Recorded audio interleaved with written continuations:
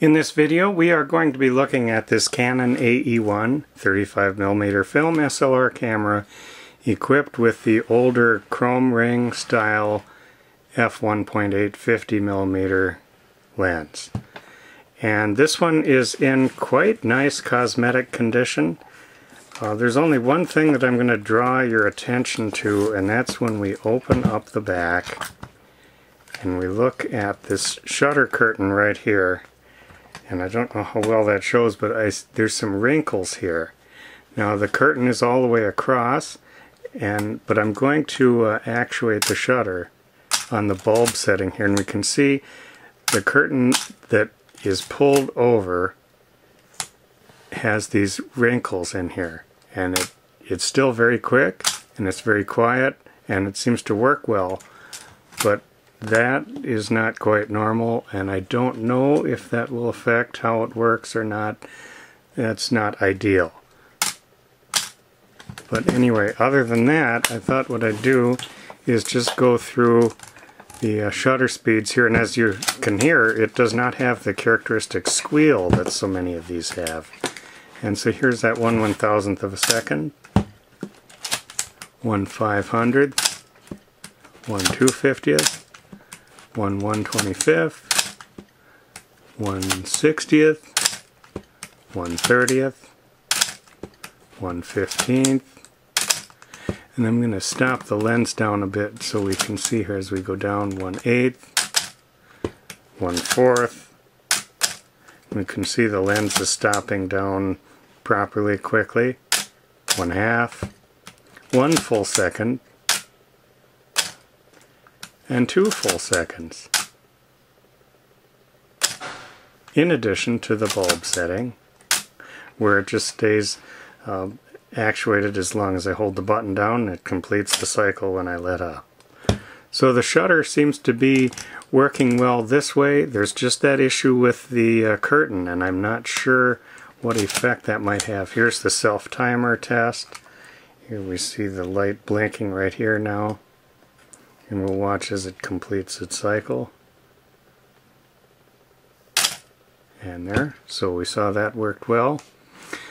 And then it's also got a shutter lock here so that you can't accidentally actuate the shutter in your camera bag. And then you just simply flip that back. So uh, let's take a look at the lens. Now this is a uh, very nice lens with nice damped focusing that's very nice and smooth. The aperture ring has nice clicks and it also has the aperture uh, locking setting at the A which is used for the uh, this the uh, camera to figure out the aperture. This is a shutter priority camera and you set the shutter speed here that you want to use and then the camera picks as long as it's within range it picks the right aperture for you. Now I see a little bit of damage to this foam right there that looks pretty rough so that would need replacing. Um, other than that though the camera is in very nice condition cosmetically. The battery door is very nice. There's a battery in here. I don't know how long that's been in there and how good it is but it will stay with it. Door locks properly. Many of these cameras have broken battery doors and this is quite a nice one. Lens goes back on. Turn the breech lock ring. It has a soft and pliable rubber eye cup still. Still has the little Canon hot shoe protector and that fits in nice. And if we open up the back again by lifting up the crank, we can see looks nice in there. The only issue is when you cock it and you see that uh, wrinkled curtain there. Um, moving over here to the back, I don't feel a lot of light seal residue here, so maybe the light seals in the back are, are pretty good, though this feels pretty dried out here in the hinge area. So it does need some work. It needs a little bit of a CLA, I would imagine, just for uh, general maintenance. Possibly something on that curtain. The lens I looked through um, with it set on the bulb setting with it wide open toward an LED flashlight and looked pretty good. I just saw some internal dust but no fungus so that's good. Comes with a Canon lens cap and then I did also have a few pieces of paperwork. There is a, a dealer record of Canon purchase and it shows the AE1 body. And the serial number here matches the serial number on this camera. And the serial number of the lens matches the serial number on the lens. And then I also have the owner record and this has the name and address of some people that used to own this. And that's on there as well and then there's a couple of books on Canon FD lenses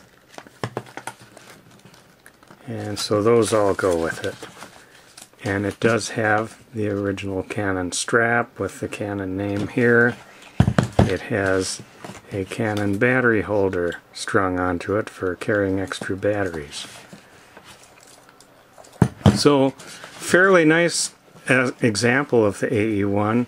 A little bit of concern about the shutter and uh, that is and the light seal possibly and that foam that the mirror flips up against and that is really why I have declared it for parts are not working. It's a pretty good example of a camera to start with if you're going to get a, a nice one and have it fixed.